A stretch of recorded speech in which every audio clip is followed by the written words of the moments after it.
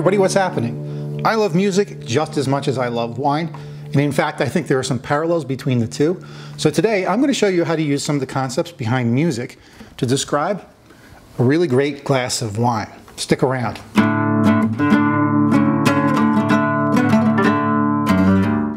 So, what makes a great wine great? Well, in a word, balance. When it comes to music, you're probably familiar with the terms bass, middle range, and treble, right? Well, let me show you something. Bass notes are just that, they're the base. They're a solid foundation that the rest of the music can be built on top of. Well, wine needs a base too, a founding structure that everything else can be built on top of. And that comes in the form of alcohol and in red wines, tannins. In music, the mid-range is often where the melody resides, the vocals or whatever lead instrument is. This is where things start to get a little bit more complex. When it comes to wine, your mid-range is flavor. That's right, all those different flavor descriptors you hear people talking about, like peaches and watermelons and stone fruit, red currants and oak, those all determine the overall complexity of the wine. They are like a little melody playing in your mouth.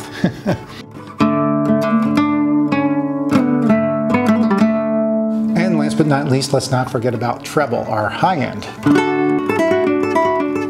In a wine, your treble range is all about your acid and your sugar. These are light, airy flourishes, finishing touches that are necessary in order for the entire flavor profile to be well balanced. If they weren't there, the wine would probably seem out of proportion and probably a little too bottom heavy. So how do you know when you taste a great wine? Well, pretty much the same way you know when you hear a great piece of music. It's all about the balance. All the different layers of the spectrum have been represented and they exist together in harmony.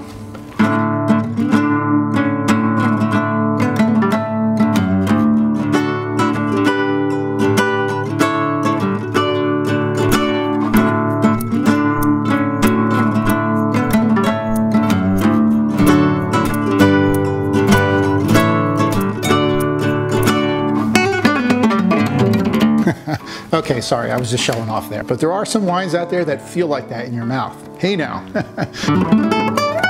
I think it's a fun idea to look at wine in terms of music.